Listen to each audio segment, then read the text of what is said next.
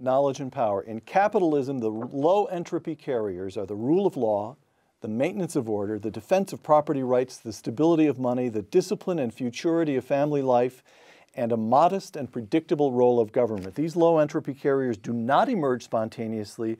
They originated historically in a religious faith in the transcendent order of the universe. George, there are moments when there's a kind of cultural uh, whiplash from reading this book because here and here and here you're talking about cutting edge information theory. You even go into the mathematics of it.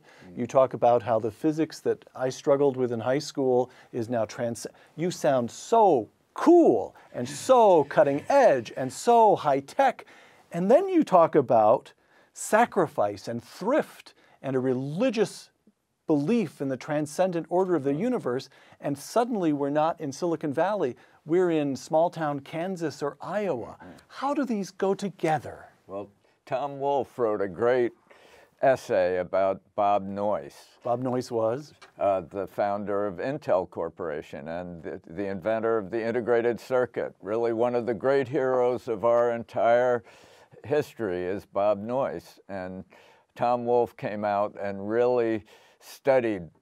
Uh, Came out here to Northern yeah, California. To, and studied um, Bob Noyce as he was founding and developing Intel into a powerhouse, the really the transformative com company, I think, in the history of of the 20th century virtually was Intel Corporation. And if I remember Tom Wolfe's essay, which was an Esquire, maybe? an Esquire, but it was collected in Tom Wolfe's. Over, you can, and, over and, and over Tom again. Wolfe concluded that what was going on, that, that the, you had to understand Noyce, you had to understand little Grinnell, Yeah, Iowa. Iowa. I was about to say Ohio. You had to understand little Grinnell, Iowa. Yeah. Correct? Yes. And that's, it's the same kind of thing that Noyce, I don't recall, Noyce Noyce, Noyce was not a particularly religious person, but he No. had imbibed a certain sense of order, Yeah. stability. Is that correct? That's right. He, he was what uh, Shannon would call a low entropy carrier.